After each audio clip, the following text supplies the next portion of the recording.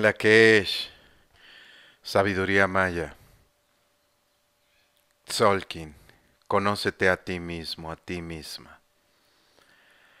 Martes 16 de julio del 2019. Tenemos el día de la semilla autoexistente. Can, can. El kin o día número 4 en la secuencia de 260 kines o días del Solkin. Estamos comenzando un nuevo giro galáctico en el peldaño número 4 de la trecena maya onda encantada del dragón. La semilla Kan representada por el grano de maíz en la cosmovisión maya, nos invita hoy a sembrar la semilla de alguna intención, de algún proyecto que tengamos en mente, especialmente con este nuevo giro galáctico, esta nueva onda encantada, este nuevo castillo. Sembrar la semilla ahora es terreno fértil. A menudo la mente siempre busca el tiempo perfecto, la situación perfecta y usualmente nunca llega. Ahora es el momento de romper esas cáscaras que nos limitan, esas cáscaras que impiden que germinemos y florezcamos. Se nos ha condicionado a buscar la seguridad constante en todo. Venden seguridad en todo y sentimos como seres humanos. Nos gusta estar en esa zona de confort, es por eso que las crisis son de gran ayuda y sin crisis no hay entendimiento. La crisis es una manera del gran espíritu de invitarnos a hacer algún cambio que hemos negado, que hemos postergado.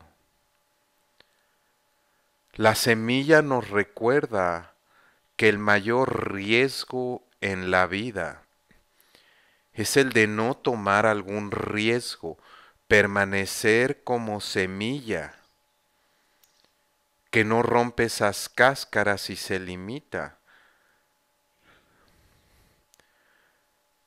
La semilla es la atención. Donde ponemos nuestra atención crece. Si me enfoco en problemas y mi atención está ahí, voy a recibir más problemas. Una mente negativa nunca produce una vida positiva. Todo riesgo que tomamos tiene costos, pero también tiene beneficios. No solamente costos, si vas a tomar alguna decisión que consideras riesgosa en la relación, en tu trabajo, apunta en papel costo-beneficio para que lo veas y aprende a romper esas cáscaras, no te limites. Nuestros pensamientos son semillas. ¿Qué es lo que piensas constantemente y es lo que se va a florecer? Lo que va a realmente germinar. Tenemos aproximadamente 60 mil pensamientos diarios según el doctor Joe Dispensa, si lo has escuchado. La mayoría, 80%, son de carácter negativo y la mayoría son los mismos pensamientos de ayer. Por eso vamos repitiendo patrones vida tras vida. Ser más conscientes, no somos la mente, no somos todos los pensamientos que tenemos, somos la conciencia que escucha estos pensamientos. rompe esas cáscaras, ahora es el terreno fértil. Ahora, si planto una semilla de jitomate, digamos, no voy al día siguiente, ¿y dónde están mis jitomates? Esto no sirve. Yo planté. Hay un tiempo, porque la semilla nos recuerda los ciclos. Es el número cuatro y especialmente con el tonal, tono número cuatro. Todo es ciclo, pero si procuro mi semilla, si la riego, si le doy las condiciones, se va a manifestar. Todos queremos que se manifieste todo inmediatamente. Qué bueno que no es así con la mente porque no la podemos manejar. El tonal 4, tono 4, numerología maya. Los cuatro puntos es la vibración de definir, de dar forma de los ciclos. Definimos en esta trecena maya del dragón para nutrirnos, confiar, dar nacimiento. Es el ser y lo hacemos sembrando la semilla de esa intención, procurándola, prestando atención a nuestra verdadera intención. ¿Cuál es tu intención? ¿Qué deseas manifestar?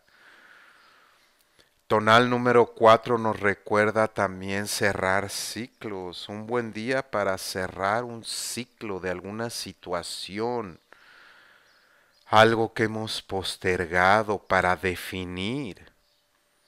Es fácil postergar y no definir y autoengañarnos en las relaciones. Si estás en una relación tóxica, define. Libérate, si estás en un trabajo que no te gusta, define, comienza a vivir, a hacer lo que amas. Nos guía el sol, Ajao, glifo maya número 20, el último de los sellos.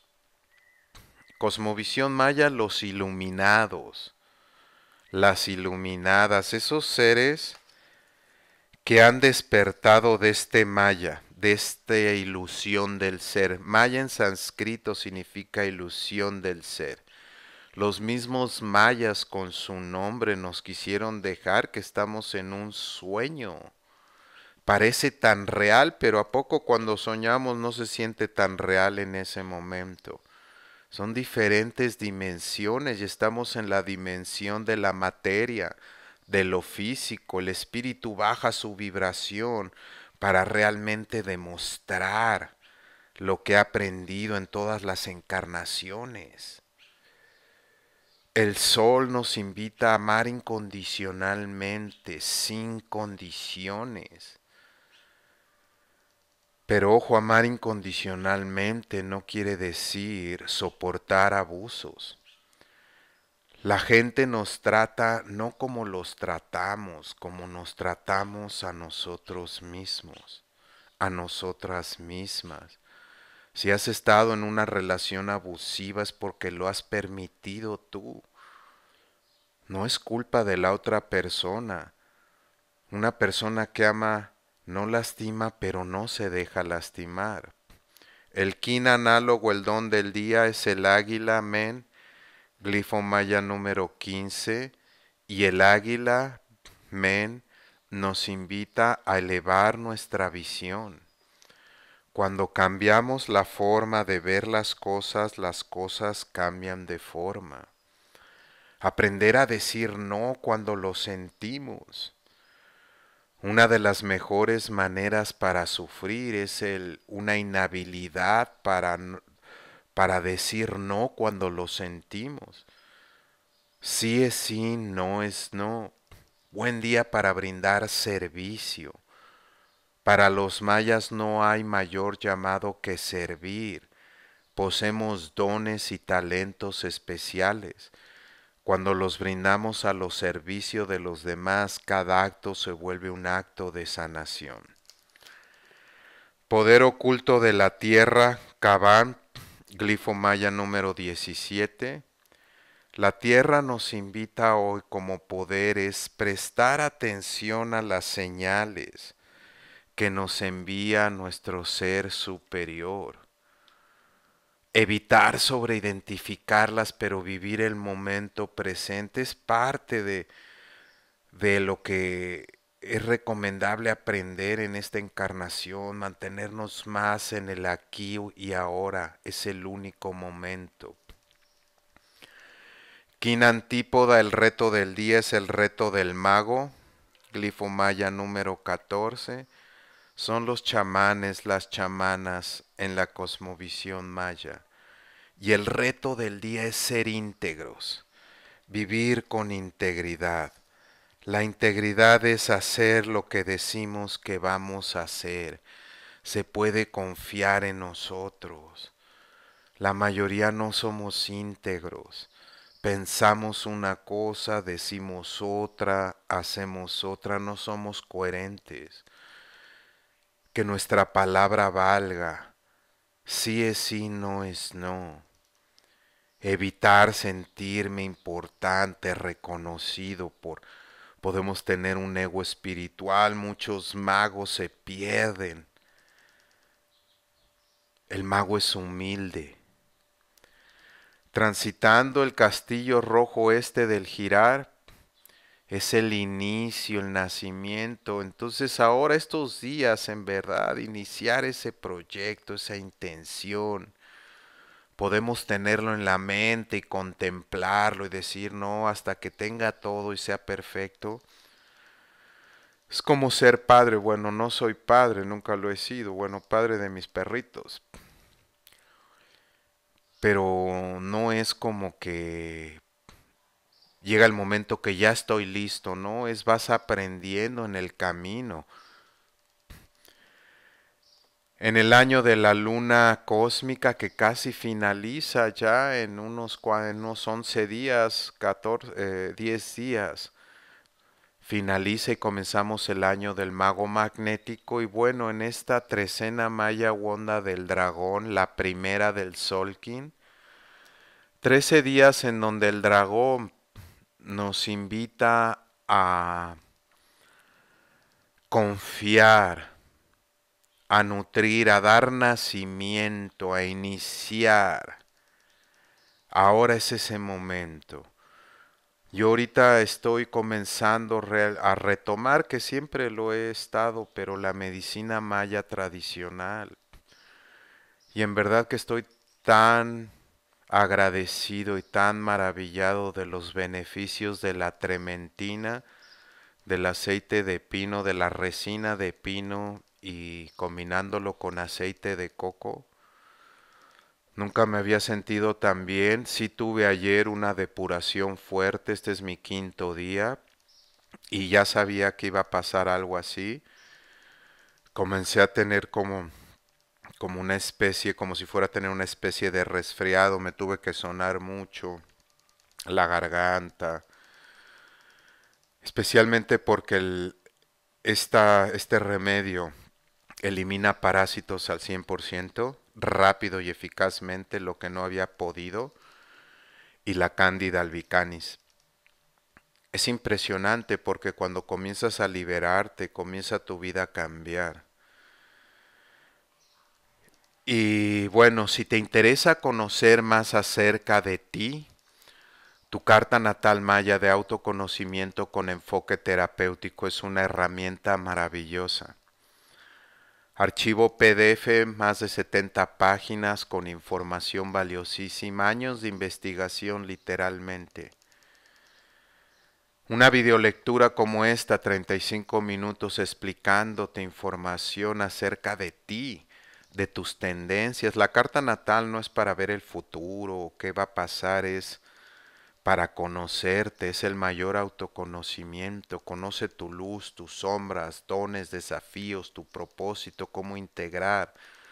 Mucho más, aparte recibes gratuitamente dos audiolibros, uno de dos horas en MP3, los acuerdos mayas, y otro de ocho horas en chamanismo. Si te interesa o alguno de los servicios, alguna consulta personal vía Skype, si te interesa aprender más del calendario maya, curso o de la medicina maya, de sanarte realmente, cualquier padecimiento está relacionado con tu sistema digestivo. Hasta que no lo entiendas, no va a cambiar tu vida sin importar lo que tomes. Es nuestro segundo cerebro. Por ahí comienza toda la salud en el sistema digestivo. Todos tenemos parásitos, todos. Pero a menudo es asintomático. Si te interesa, visita factormaya.com. Hay un enlace con toda la información en servicios. Gratitud infinita por su atención. Los reconozco, valoro y respeto. Luz, paz, amor y sobre todo entendimiento en el camino. In Lakesh. Hayun Hunapku. Eva Maya. Emaho.